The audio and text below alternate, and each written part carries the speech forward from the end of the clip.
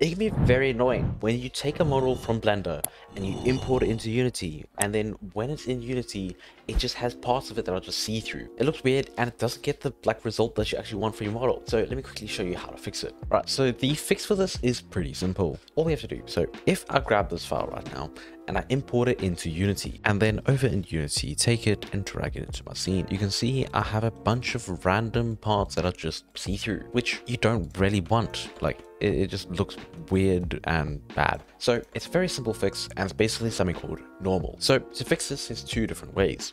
The first way is if you just want to see the normals, which is basically which way the face is facing. You just go up to the top right and then just click on face orientation. Now you can see some parts are red and some parts are blue. So the red parts are the parts that are facing the wrong way. You want everything to be blue on your model. And the two ways you can fix it is either just go select everything and then just go into edit mode, just A to select everything in edit mode.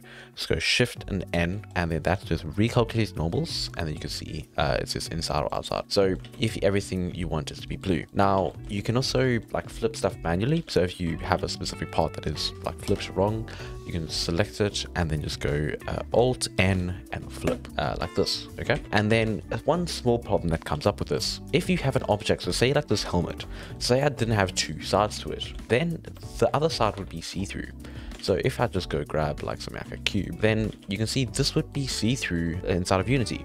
So the way to fix this is just add a solidify modifier. So if I go add modifier and solidify and just drag this up, you can change the size of it, uh, change like a bit of thing, make it super thin, make it super thick.